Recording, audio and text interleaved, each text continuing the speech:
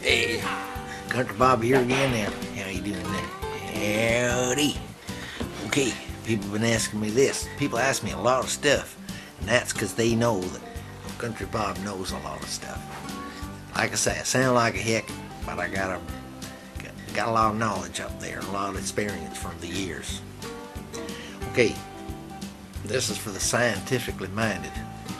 Now, this is some pretty deep thinking stuff here now, but nonetheless, Country Bob here is going to make it simplified for you. He's going to dumb it down, okay, if I can, best I can.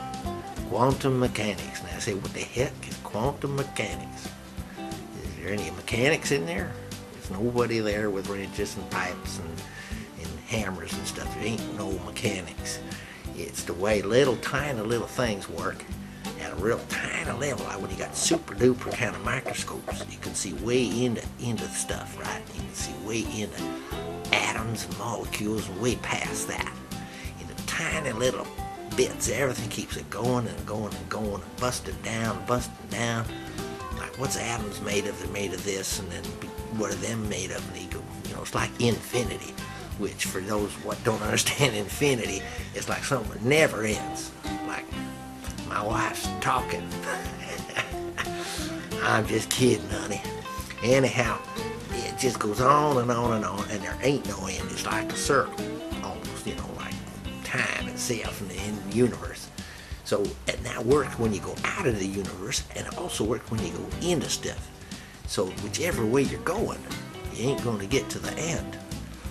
And the further they get into stuff, little tiny, tiny, tiny, tiny little things, things start getting weird down there, and they don't do the regular things like that guy Einstein said, figured they might. Things don't act natural. Not to say what's natural or what ain't, but what we expect it to do. All of a sudden, something's a disappearing out of nowhere and appearing out of nowhere. And you're saying, wow. It blows my mind. I know, I know. And uh, all sudden stuff is just going strange. And it, in fact, just the act of looking at it makes it act different.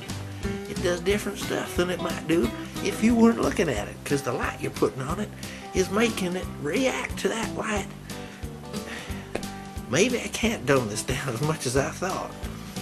I feel kind of dumb trying to explain it. Anyhow, stuff appears and disappears, kind of like in the Star Trek thing when they do the transporter. And now they figure maybe they can do that for real. And that's all from the quantum mechanic thing, where you go way down and look at little tiny things.